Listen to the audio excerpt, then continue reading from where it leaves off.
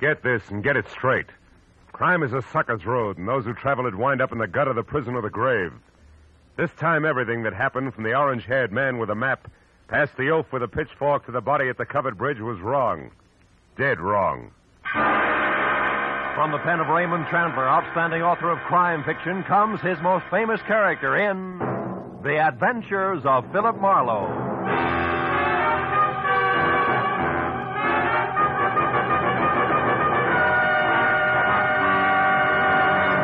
Now, with Gerald Mohr, starred as Philip Marlowe, we bring you tonight's exciting story, The Covered Bridge.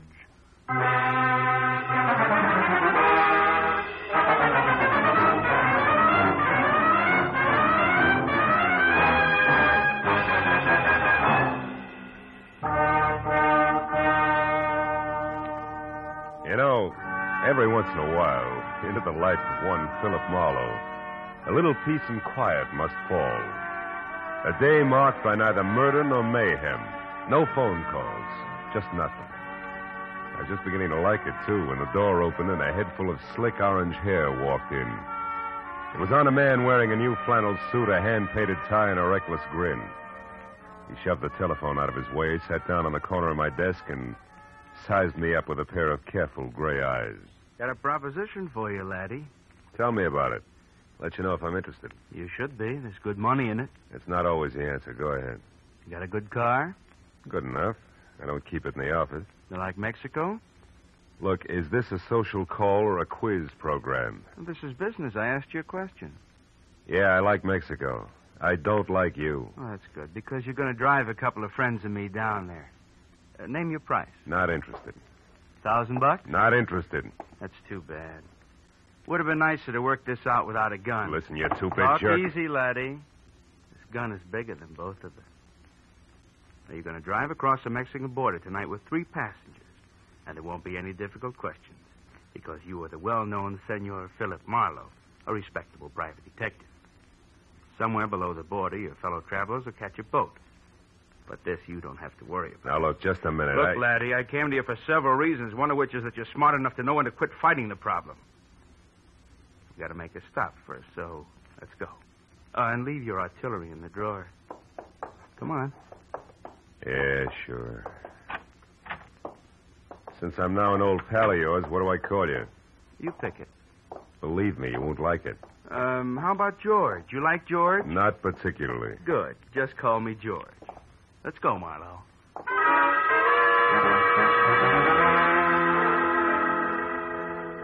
We nodded at the elevator girl, waved goodbye to the kid in the parking lot, and headed south on Highway 101. All with the front of that Mauser nudging my kidney. It was screwy, but I was on my way to Mexico. Uh, don't get ambitious, Marlowe. Not too fast, not too slow. Just keep it rolling nice and steady. I did what I was told and watched for a break. For every foot of a hundred miles down the coast. At Oceanside, we cut inland past Escondido and up into the citrus country. Once he dug a little map from his pocket and studied it while we headed into the hills where farms were farther apart. George was busy looking for a turnoff when my chance came, and it came fast. My foot slammed down hard on the brake. George's head struck the windshield, and the gun slipped out of his hand. I dropped two wheels in the ditch, but I got the gun. He took one look, then jumped out and ran in a low crouch for the back of the car. Before I could follow him, I heard the truck coming. It was a big two-section job rolling fast. It topped the rise just as George pivoted toward the road. The truck driver must have seen him just as it hit. Because the air brake locked on all 26 wheels at the same time. I ran to where George lay like a discarded doll at the side of the road. The truck driver was out of his cab before it stopped rolling. I didn't see him. I didn't see him. I come over the rise there. I, I didn't see him. Take it easy. Honest, I didn't see him. Is, is he all right? Oh. He ain't dead, is he? No, no, he isn't. He won't be walking much anymore. It wasn't my fault, Mr. Honest. I know it wasn't. Get hold of yourself. Uh, gosh, what should we do? I want you to drive to the nearest phone and get the police and then come back. Here's my card. Give it to the troopers. Oh. Tell them they can reach me at my office. Yeah, what are you going to do? If I can figure out how to read this map of his, I'm going to pay a call on a couple of people who are expecting this guy. Oh, Maybe it's just a stubborn streak, but when I'm being used as a patsy, I like to meet the people involved. As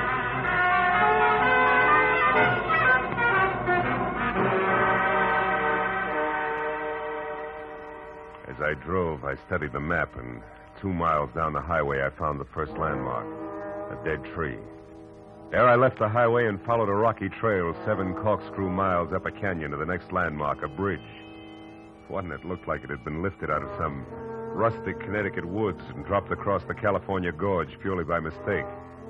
Because it was covered complete to roof and walls and made entirely of lumber. And on the hill beyond was a lonely house where the trail marked on the map ended. I drove slowly through the sagging wood tunnel and at the other end deliberately killed my motor. Then I got out, raised the hood, went to work on the distributor. I don't know where he came from, but when I glanced up, he was standing there watching me. A bull in overalls with a pitchfork clenched in a pair of hands as thick as $4 stakes. We didn't like each other's looks. You picked a bad place for trouble, mister. That's so. Why? Nobody almost never comes up this road, especially strangers. How come you took it? Really want to know, or are you just killing time? I wouldn't be too smart if I was you, mister. Ah. You live in that house up there? No, not anymore. I got canned for drinking. Why are you so interested in that place? The only farm around here. Maybe they got a mechanic. Yeah, maybe. Where'd you say you were from? L.A. Ah, Los Angeles, huh? You real sure you don't know anybody up there on the hill? Like who, for instance? A certain party who took a trip to L.A. not so long ago. And another thing, city boy. Don't get out of line or I'll fix you good. Understand?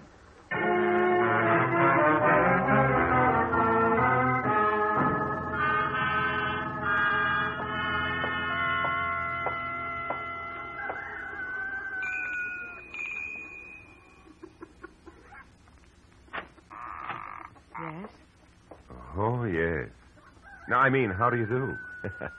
You want something? uh, yes, my car stalled at the bottom of the hill. Dolly, Dolly, who is it? Who's there? Uh, a man, Uncle Walter. He says his car broke down. What's that? Your, your car broke down, you say? Yeah, I don't know what went wrong, Mr. Uh... My name is Brule, Walter Brule. Oh, I'm glad to know you. I'm Philip Marlowe. What are you doing on this road, Mr. Marlowe? I thought it was a shortcut. Did you? Well, you were wrong. It's a dead end. Oh, You come inside. thanks. Look, Mr. Brule, I'd like to have somebody who knows motors come down and look at my car, huh? Mm-hmm. All right, when Ed comes in, I guess he could go down with you. Oh, I, That's I, my new hired hand, Ed Fry. Oh. I don't know, Uncle Walter. It's getting pretty dark. Yeah, I was thinking the same thing myself. As a matter of fact, if you can accommodate me, Mr. Brule, I'd just as soon rest up a while and shove off in the morning. I want to pay you for everything, of course. Stay overnight? Oh, I, uh, I'm afraid that's impossible. We, Impossible? Why? What's the matter with you, Dolly? If necessary, I'm sure we can arrange to take care of Mr. Marlowe some way. well, okay. Yeah, that's better. Now, if you want me, Dolly, I'll be out in the barn.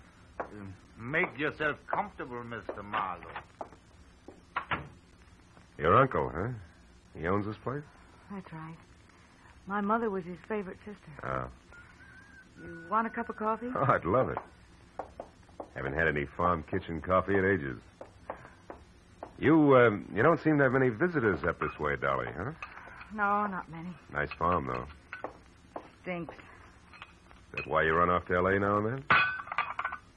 How did you know about that? I guess. Ran into a friend of yours at the bottom of the hill. A Pair of overgrown shoulders with a pitchfork. Said he used to work here. Him. He did up until a month ago. That's Noah Bickman. Big dumb goof. Here's your cup. Oh, thanks.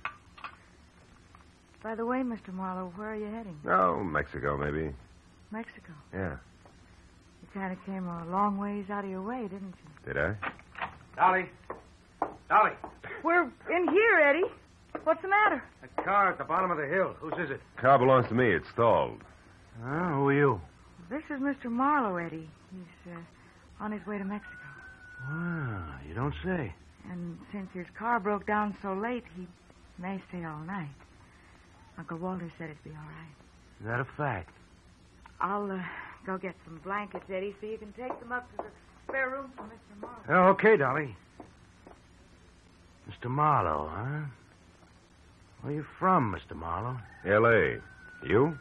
Uh, points east. Uh, You know, this road don't go to Mexico, Marlowe. In fact, it stops about a mile up the draw here. And it's funny that you wound up on it, isn't it? I don't see you breaking up over it, Eddie. Don't let my poker face throw you, pal. Traveling alone, are you? I am now. Meaning what? That there's nobody with me. That's simple, isn't it? Not in my book, pal. I might even want you to draw me a picture of that one. Here's the blankets, Eddie. Sheet and pillowcase. Oh, okay, okay, it's fine. Come on upstairs, Marlowe. I'll show you the room. You want me to go with you and make the bed? No, you stay here and put up some more coffee, Dolly. All right. Got a hunch I may want lots of it tonight. Let's go, Marlowe. Right behind you, Eddie. How's the weather been in L.A.? Some might call it hot. Uh-huh.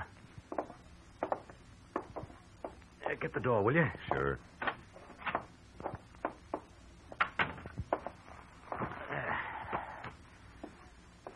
Okay, how come it's you, pal? I got good credentials, a car, and a tight yap. You better be right on all three. How'd you find me? Little map, Eddie. From Escondido to the dead tree to the covered bridge, and then up here it's a cinch. Why'd you show alone? Where's Red? Gotta meet us at the border. It's a bum fit, pal. It's not in the book. Why? Ah, he had some kind of a last minute jam with the boat. Oh, that jerk. He's had a month to line this up while I've been holed up out here in the sticks making like a farmhand. Well, better work, that's all. If we're picked up this time, it's curtains. Oh, uh, incidentally, you got a gun, haven't you? Yeah, sure. Let's see it. Uh-uh. No dice, Eddie. Red didn't tell me everything, just enough. So? So you'll get your money's worth. I'll do what I'm supposed to do and no questions asked, for my little automatic and I stick together regardless, real close, together. Okay, Marlowe. Suit yourself. I will. And something else. The rest of the company is going along. Is that all set? Well, we'll see about that when the time comes. You're not leaving any loose ends around, are you? It's not your worry, pal. We'll get out of here around 11. Oh, and that routine about your car being stalled, it is a gag, I hope. Oh, sure, it won't start. If anybody tries, but in ten seconds with a screwdriver, I can fix it. You're okay, Marlowe. Just keep playing your game. Yeah, I will. Maybe then I'll find out what the score is after all. Huh? Hmm, You might at that. Come on, let's eat.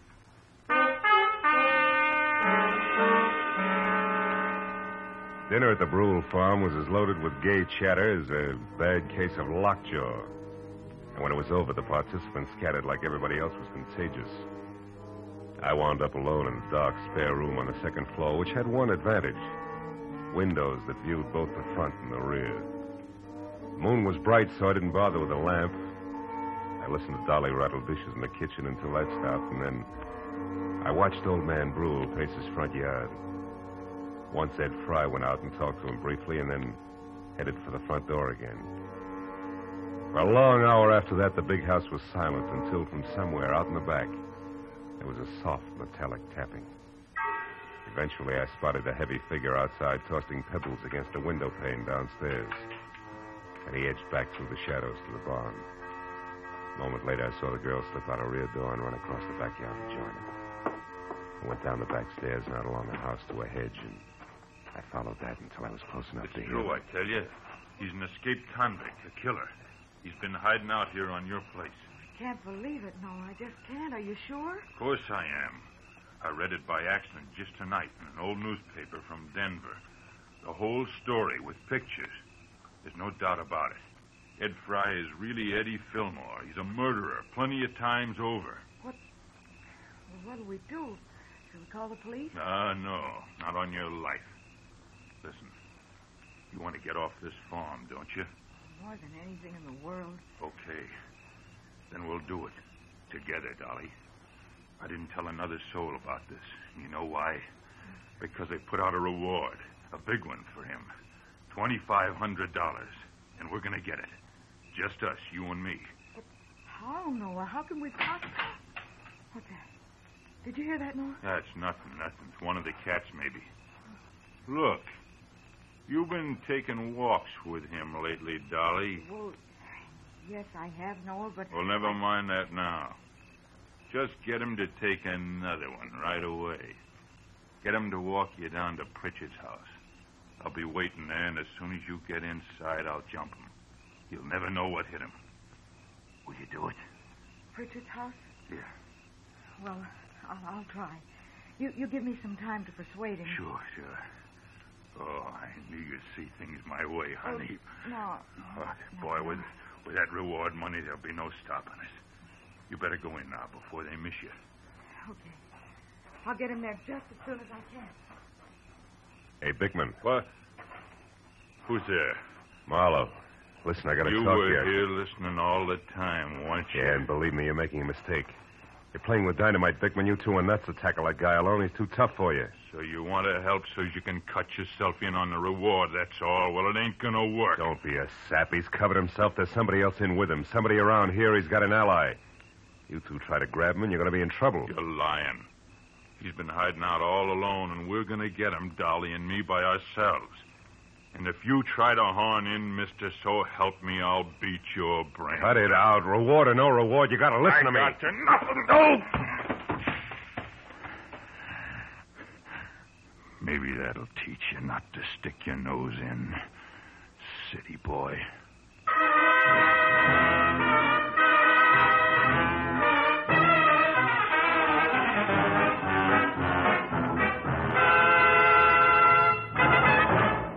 In just a moment, the second act of Philip Marlowe. But first, Fred Allen's first appearance on the CBS Jack Benny Show. Al Jolson sings, but the face is Charlie McCarthy's. Andy of Amos and Andy goes on trial for deserting his bride by mistake. Those are three headlines that guarantee you a world of fun on CBS tomorrow night. Yes, this third Sunday of the new year will be an all time high in radio entertainment. Hear them all on CBS tomorrow night. Now, with our star, Gerald Mohr, we return to the second act of Philip Marlowe and tonight's story, The Covered Bridge.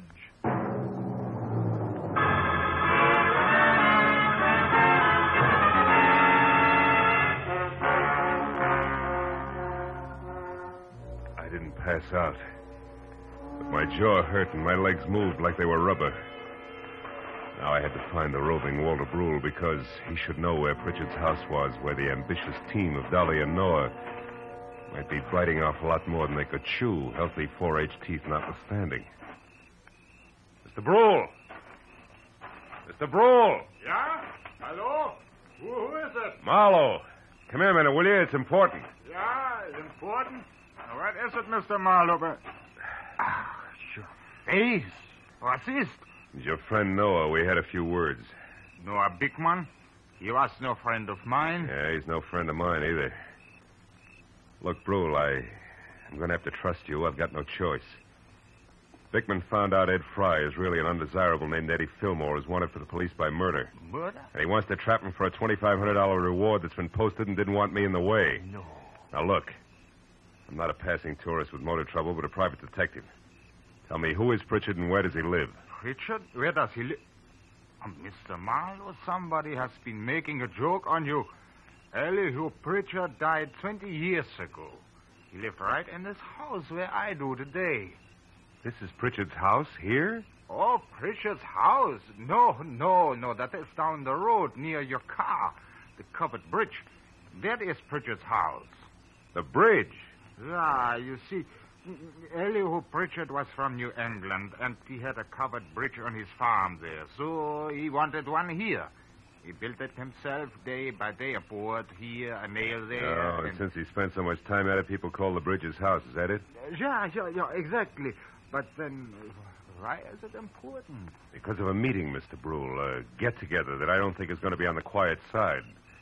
Let me borrow your flashlight, will you? Sure. Now get back inside and call the police. But what are you going to do? Reinforce the reward happy sweethearts and keep an eye out for someone I haven't met yet. A third party Eddie Fillmore plans to tour Mexico with.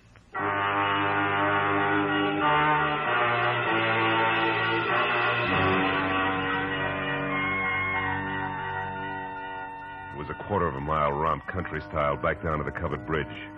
When I was there, the Mauser I'd recovered from George in one hand, flashlight in the other. I found only the moon washed, gray covered bridge itself. trying to stand erect like an old soldier who has more pride than posture. But then as I stepped from the chalk road onto the sheltered oil-soaked planking, I found something else. Inside and face down was Noah Bickman. And lying nearby, the red-stained, icy fingers of the pitchfork that had killed him. I started to move closer. Then footsteps from the road behind suggested that I do different, so I moved quickly back to the bridge entrance, flattened myself into a narrow shadow, and waited. Noah? Noah, is that you? Marlowe, Dolly. What? Mr. Marlowe, what are you doing here? Well, why are you down at the bridge at this hour? Where, where's Noah?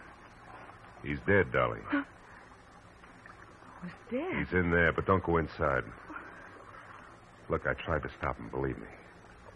Stop him. Stop him from Don't what? bother, baby. I know about Fry being Fillmore, the reward, all of it. What? How? Well, first of all, I'm a private detective from L.A. who was dragged into this by an ex-buddy of Fillmore's.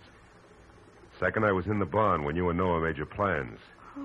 When you left, I tried to talk Noah into accepting my help. Why? Because I know what Fillmore's kind is like. I mix with them every day. I know how they work. Look, did you tell Fillmore to meet you here, yes or no? No. No, I couldn't find him. I've been looking since I left the barn every place. That's why you came down here just now? Yes. I wanted to tell Noah that our plan would have to be postponed. But what difference does all this make? I don't know. Maybe a little, maybe a lot. If Fillmore had known about this, this rendezvous you two planned, it'd be 20 to 1 that he got here ahead of schedule and took care of Noah. But since he didn't, Well, since he didn't, I'm betting on a third party, someone we haven't met yet. a third party? Yeah, now listen to me and do just as I say. Turn around and walk straight back up to the house, and when you get there, get inside and stay put. But Marlowe, what if... Go on, fast. All right. But be careful, Marlowe. Whoever killed Noah won't hesitate to kill you, too. When she started back up the road, I turned toward the bridge again. My flashlight following the dusty white footprints on the freshly oiled planking leading to the dead man. I stood over in the circle of light sweeping the area around him. There was just one thing I had to know. Marlowe. Marlowe. Uh, it's me, Walter Brule. What are you doing down here? Well, I thought you might need help, so after I called the police, I got my rifle and came down here, and I. Yeah, he's dead. The prongs on that fork went right through him. How terrible. Yeah. Look, Brule, was this planking freshly oiled today? Yeah, uh, why? I what- just wanted to make sure those chalk footprints were made today. But what do Brule, you stay here and see that no one enters the bridge. But where are you going? Up to your house in a hurry because I think I know who the killer and the third party is.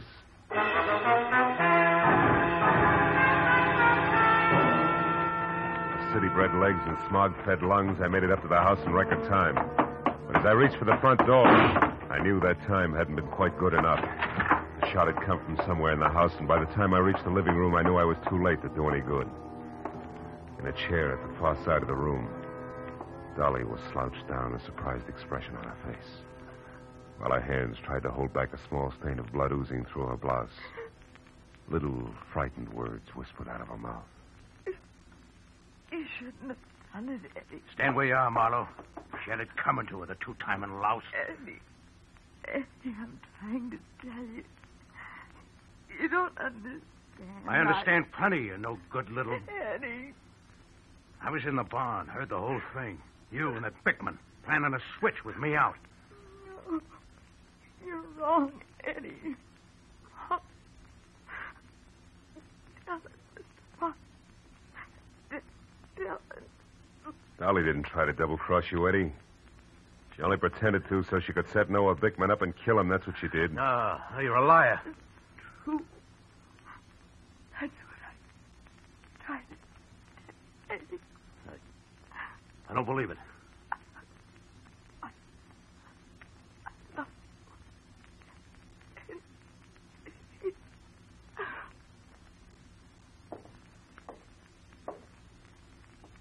Dolly. Is that true, Marlowe? She didn't cross me. She was trying to help me. That's right, Fillmore. Bickman found out who you were, wanted the 2500 bucks you were worth, dead or alive. Dolly had to play him along for your sake.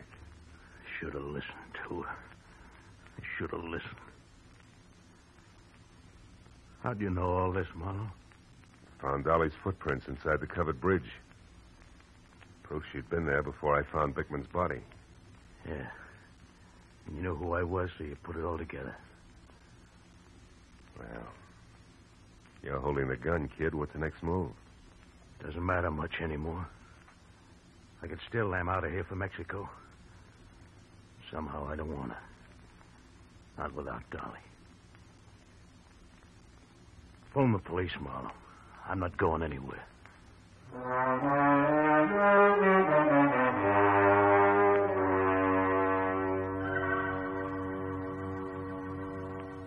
was several hours before the county police and Eddie Fillmore had gone.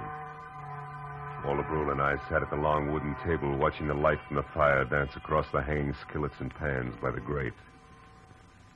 And nobody said anything for a long time.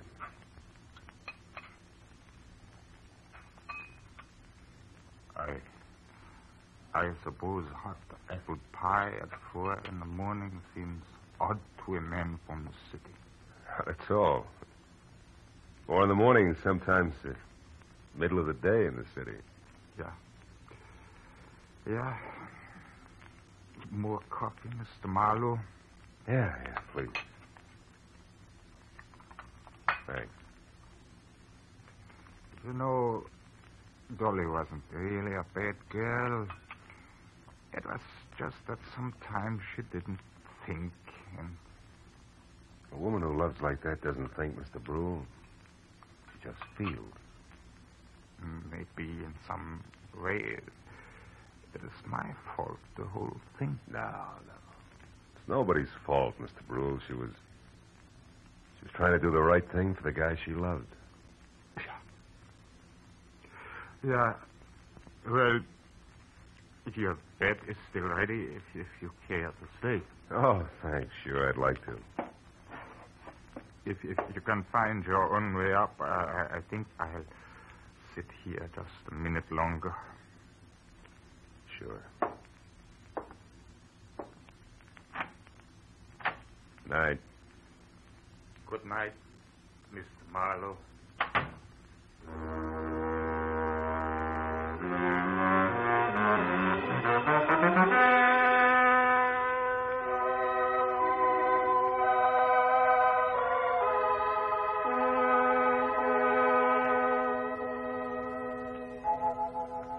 As I sat looking out over the starlit countryside, I thought of all the great love stories written about the good people who love, live, and suffer.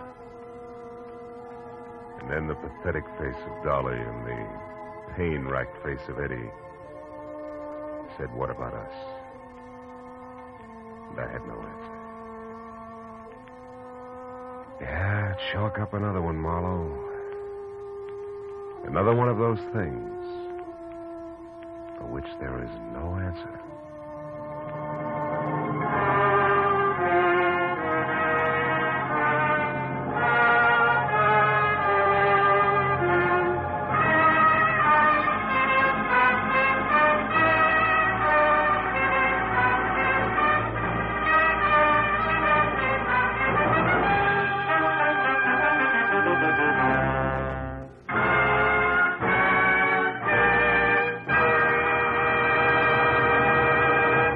Adventures of Philip Marlowe, bringing you Raymond Chandler's most famous character, star Gerald Mohr, are produced and directed by Norman Macdonnell and are written for radio by Robert Mitchell and Gene Levitt. Featured in the cast were Vivi Janiss, Ben Wright, Jack Moyles, Wilms Herbert, Jack Kruschen, and Barney Phillips. The special music is composed and conducted by Richard Aurandt. Be sure and be with us again next week when Philip Marlowe says. This time a twisted mind, a hole cut in a wire fence, and a corpse in a storeroom. All added up to freedom. But only for the one who had it coming.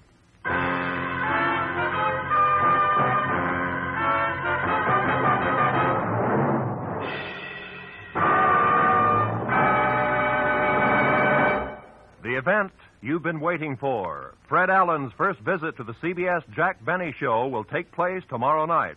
Yes, the most famous guest appearance in radio, the Fred Allen Jack Benny Act, will be heard on all of the CBS stations tomorrow night. This is Roy Rowan speaking. Now, stay tuned for Gangbusters, which follows over most of these same CBS stations. This is CBS, the Columbia Broadcasting System.